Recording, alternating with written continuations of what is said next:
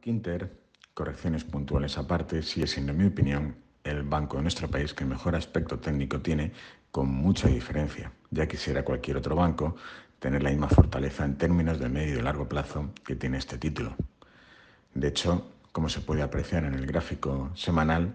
las últimas caídas hacia la zona de los 4,70, 4,80 aproximadamente, coincide con lo que sería una especie de throwback o de apoyo a la nueva zona de soporte ante resistencia que le confiere por definición la línea clavicular del gran cabeza y hombros invertido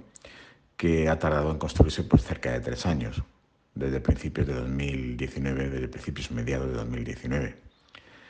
Si nos creemos esta figura, la proyección mínima teórica, que es la altura de la cabeza, apunta hacia cotas mucho más altas que lo que son la zona de máximos históricos en los 6,14 euros que alcanzó en febrero de 2018.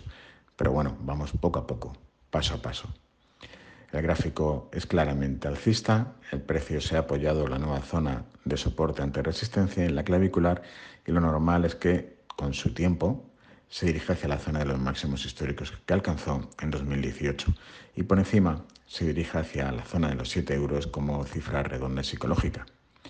En cualquier caso, estamos hablando de un objetivo de medio y largo plazo, ya que si la figura tardó tres años en construirse, lo normal es que el objetivo de la subida de la misma también se tome su tiempo.